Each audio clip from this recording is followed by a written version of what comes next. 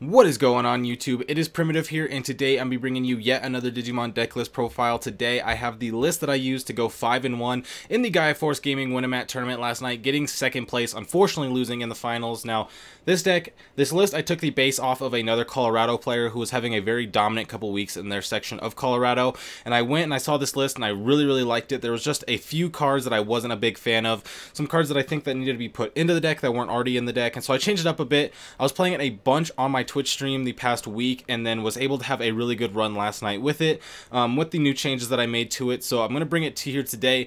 But before we get into it, I just want to say that if you are interested in more Digimon content, if you want to see these tournament runs live or anything like that, I am streaming on Twitch basically every single day. So go ahead and give me a follow on Twitch. The link is going to be in the description and you'll be able to get notified when I go live. But with that being said, let's go ahead and get on into the list. So to start off, we're going to be having our Digitama of the 4 Meramon and the 1 Koromon.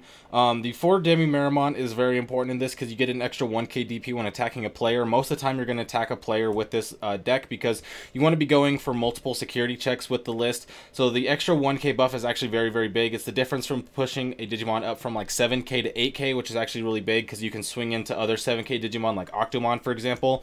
And then we have the one Koromon here. The Koromon's just a good fifth egg. When you swing and you have uh, Greymon in your name or Omnimon, you get to draw a card. So when we go into the multiple Greymons that are in this deck, you can go ahead and get some draw power off of this. It's not as powerful as getting the 1k DP boost because a lot of the times you want your Greymon to survive in security if possible. So getting the highest DP possible is good. But being able to get that draw is nice sometimes. And you want the fifth egg for the longer matchups like potentially uh, Three Musketeers and Security Control because they will run you out of eggs. So you do need to run the fifth egg. So I like it 4 and 1 here um, just because I like the boost a little bit more than the draw.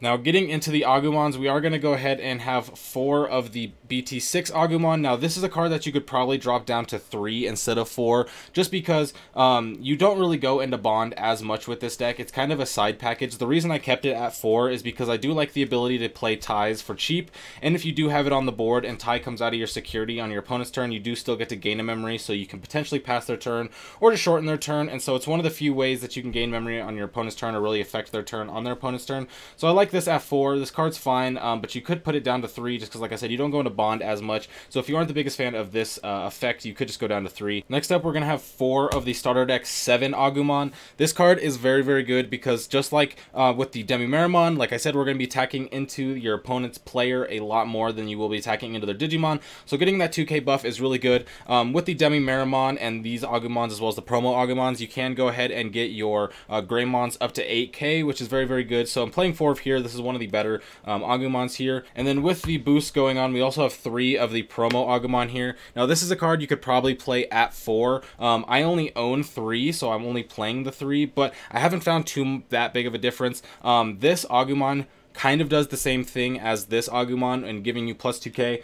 The reason why this one can be better is because if you digivolve into something like a Geo Greymon or you go into your regular Greymon, you can just have them at 7k no matter what, which means you can swing over some Digimon. So this is a lot better in scenarios where you need to be defensive and swing over your opponent's suspended Digimon, but that doesn't happen as often. So um, I think 3 is fine. If you have 4, you probably should play it at 4, but like I said, I only have 3, so I have just been playing it at 3. It has been fine, like I said, with this uh, starter deck, Agumon being here. It feels relatively the same because a lot of the times you don't really want to attack into your opponent's Digimon anyway, if you are, you are kind of behind. So um, just playing this at 3, but you could put this at 4. Like I said, you can cut one of these Agumons. You could put this to 4 very easily, um, and the deck will be very much the same. Next up, we're going to have 3 of the 2-drop Agumon. Now, this card can be a little bit of a hindrance sometimes if it's the only Agumon in your hand, because when you Digivolve, you do have to pay 1 um, because it is a 2-drop 4K, which is a bit unfortunate, but sometimes it does help because you can put your opponent at 1 if you really need to, or you can make it so you go down to like 2, and then you can play a 3-drop, and then that puts your opponent at 1, but for the most part, it's not the best thing to Digivolve into, but we are playing it at 3. I do like 2-drops in these type of decks. I was playing the Gomamons in my Bond of Friendship deck for a bit, because the 2-drops were very powerful, you can play a couple, if you're at 3, you can play 2 of these down to get 2 4K rookies on the board, put your opponent at 1. Um, the reason I didn't like the Gomamons in the Bond of Friendship as much, because they weren't Gabumons, these are Agumons, so they work very well uh, with the deck, and so I find these cards to be very good. You could potentially go up to 4. I was testing it at 4, but I found myself um, digivolving into this way more than I really wanted to, and so I ended up going back down to three, and I've had really no problems with it outside of this couple times where this is the only Agumon that you have. Um, but for the most part, this card is very powerful. Then we're going to have two of the Agumon Expert. Now, this is a card that when I was first playing it, I was not a fan of this card at all because I was like, this card isn't really doing anything for me. Um, it felt very weak, but the more I played it, this card has been super, super key. Um, you can get a lot of resource out of this. If a Bond of Bravery is hit in security, you can go ahead and bring it back um, from the trash if you want to go into Bond, or if you are just playing against a deck where you need a lot of value, if you're playing against a slower deck, being able to play this out and being able to bring something back and recycle this card is very, very good. Um, so I do like the Agumon Expert. You're definitely going to be keeping this in the list. And then to finish off the Agumons, we're having two of the BT1 Agumon. Now, this is the weakest Agumon in the list. This card usually seems to just whiff. I'm not the really the biggest fan of it. Um, you could definitely take it out. Coming into EX1, I will be keeping the same Agumon lineup outside of potentially taking out the BT6 to add in the other promo and taking these out so that way you can put in the EX1 um, Agumons. So if you are looking to play EX1, you can go ahead and take out these BT1 Agumons, put in the EX1 Agumons, and you're going to be looking much, much better. If you wanted to play three, you could potentially cut this down and play this at three, or you can cut, put this down to two and play three of these. That's going to be your preference, but I'm just going to play it at two in these two slots because the search and the um, getting the value off of it is good.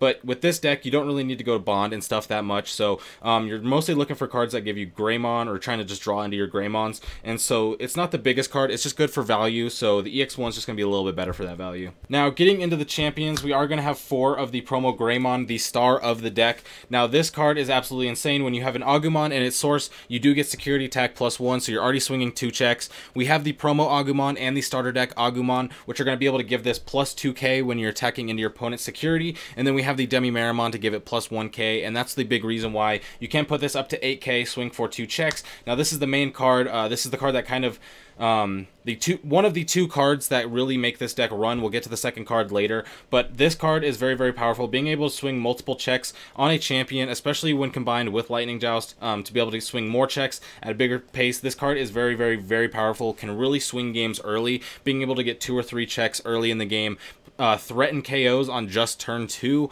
um, and be, having to have your opponent answer this going into turn three, or they could just lose. So this card is very, very, very, very powerful. Next up, we're going to have the four Agunimon. Now, this is just a finisher. Um, we are playing Gravity Crush in this list, so there are times where you go down to zero and you can Gravity Crush up to two. Play the Agunimon. We are playing six Tamers, and so the four Agunimons is a pretty good ratio because you're a lot of times when you have the Agunimon, you're going to have the Tamer. There are times where I have a bunch of Tamers and no Agunimon, so if I could run more than four Agunimons, I probably would. But the Burning Greymons aren't as good, so I opted out to not playing them. We're just playing the four Agunimons as the hybrids, but this is a really good finisher. Um, sometimes you do have to Digivolve on top of it just to cycle, which is a bit unfortunate, but it's not the worst card to cycle onto because it's just a 2k. Um, and you can go ahead and still get boosts from attacking the face with the starter deck 7 um, Agumon as well as the Demi Meramon. So you can get some checks off of this. It is a decent card, but this is just kind of a finisher card. Then to finish off the champions, we're going to be having three of the Geo Greymon. I was testing the four Geo Greymon for a bit, but I found I was having them in my hand way too much,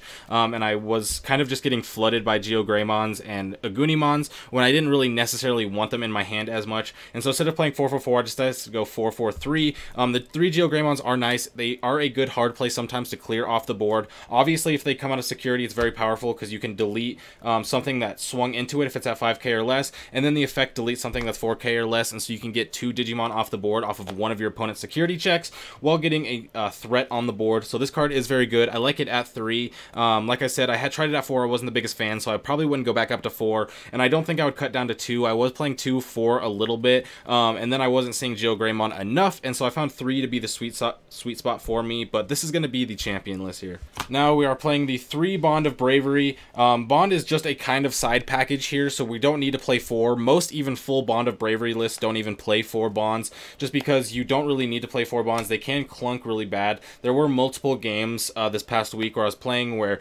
I would have two, three of these Bond of Braveries in hand and not really be able to play them. In one of my sets in the Gaia Force Gaming Tournament, I did have a set where I was going to be having two, I think, or maybe three, all three of them in my hand. And so I had to Digivolve on top of one of my Agumons um, and trash my top two security, even though my opponent didn't have any Digimon on board, just because I had only Bond of Braveries and option cards in hand and I needed to try to cycle. So I essentially just traded my two security for their two security to have my Digimon die at the end of the turn, which isn't great, but I didn't really have any other options. So this card can clunk. It is kind of a side package. You're mostly looking to play like Greymon Turbo here, but um, we are still just playing three. It's good consistency. Three is a good consistency card, but four is just way, way too much.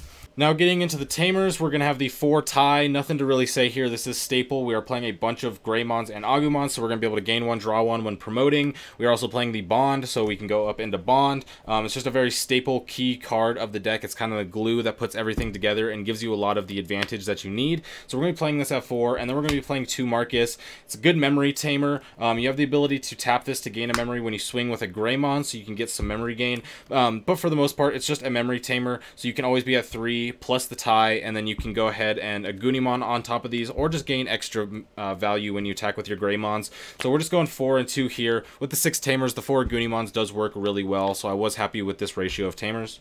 Now, getting into the option cards, we are going to be playing the 4 Atomic Blaster. This card is just very, very powerful. Um, being able to clear up to 8k's worth DP on the board is very powerful. That can clear up to 3 or 4 Digimon sometimes if your opponent's really wide on 2k Digimon, and so this is very good. It also comes out of security and blows up a bunch of Digimon. This is a very good card at 4. It's good consistency. It gives your security a lot of power um, on top of the already good security that you have, and then it's also just a decent card to play to be able to clear things off a board, give you the time that you need so that you can build up to your Greymons or get your Tais out so you can go into Bond um, and stuff like that. So we are playing this at 4.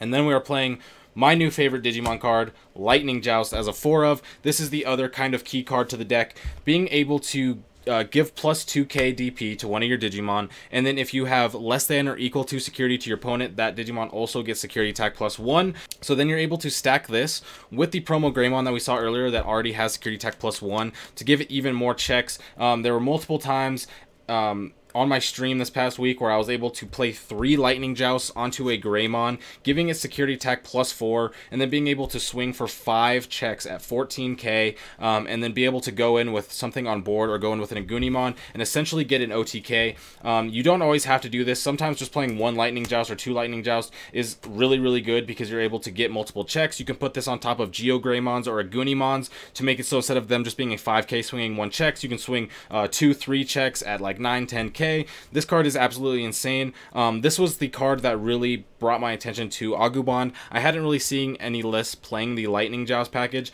but when I saw it played, I saw thought it was absolutely insane. Um, I went ahead and maxed it out up to four. The list that I took was playing it at three, I believe, but I went up to four. This card's insane. This is kind of what makes this deck as good as I think it is. Um, just the fact that you're able to swing in so early with Lightning Joust, or be able to make really big comebacks by being able to stock Lightning Joust in your hand, and then if your opponent goes up to four five security, just going for really big turns um, where you go for three, four Lightning Joust in one turn, clear out all their security, and go for game. And so Lightning Joust is just an absolutely fantastic, very, very powerful card. Then we're going to be playing two Gravity Crush. This was a card that I put in on my own list um, that wasn't playing in the original list. I just felt that you a lot of times needed that extra memory. The Marcus and the Tais are uh, good, but they aren't as consistent and aren't um, on being able to have on the board. Sometimes you need more memory than you can get, or if you're just at like one Tai and no Marcus on board, then you're going to maybe two a turn and you could need more than that. So I found the Gravity Crushes to be really good. Um, also able to just make it so you can go into like Bond clear out all the security, Gravity Crush up to 2, and go into Agunimon, like I said earlier, which has been very good uh, game ender.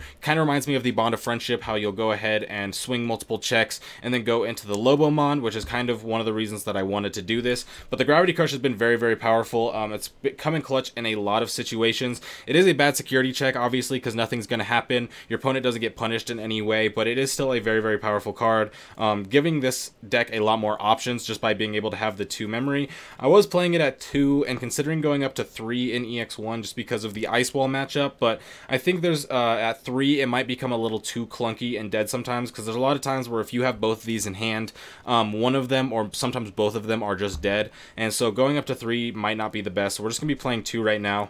And then to finish it off, we're playing one Gaia Force and one Delicate Plan. Gaia Force is here just as kind of a tech for Sakuyamon. Um, if you're playing against Security Control, your opponent's playing Sakuyamon, you can go ahead and just Gaia Force it down. Um, other than that, you don't really need it that much unless this card is in security, it feels really bad to have. Um, when it's in your hand, I pretty much never really played it. There was multiple times where I drew the one Gaia Force in hand, and I never really played it, so being able to play more and have more of them in my hand didn't really feel that appealing. But the one is nice versus a security control matchup. If you do hit in security, you can pop things like Bond of Friendships or whatever, which is really nice, and that's really good. And then we have the one Delicate Plan. The one Delicate Plan is a card that could technically be cut because um, you kind of really need to be going for big checks with the Lightning Joust for it to really be useful. But I have had times where I was playing against, like, uh, let's say the Agumon mirror match or the Gabumon mirror match where they had one security left. I could Delicate Plan, swing for the one check, and then that way I can't hit things like Hammer Spark or Atomic Blaster or Gaia Force um, and have them be able to clear my board and win the game. But the Delicate Plan is just a little bit of versatile. You could change it if you're not the biggest fan of it, um, just because it is a one of, but it is a card that did come in clutch sometimes. Being able to Lightning Joust two or three times, go up to four or five checks, and then Delicate Planet um, was very helpful. Being able to go into Bond of Bravery and then go into Lightning Joust Delicate Plan was something I've done multiple multiple times. So you'd be able to swing, trash the top security, then do two, three, four checks with Delicate Plan at like 16k, 17k, or whatever you're at because of the boosts. And that's very good because there's it's really hard for your opponent to stop that if it's possible for them to stop that, um, which I'm not sure that it is, uh, especially with the Delicate Plan. And so um, that is the option card lineup for the deck and that is going to be the full 55 there. Now if you enjoyed be sure to like and subscribe because i'm gonna be bringing you a bunch of content especially over on twitch as well. Um, i will be uploading here on youtube still consistently. Um, i will be keeping my four to five uploads a week but i have been streaming pretty much every single day on twitch so if you do want more content be sure to follow me on twitch. But with that being said i will catch you all tomorrow for some more matches from tonight's local. I hope you all have a great day. Peace out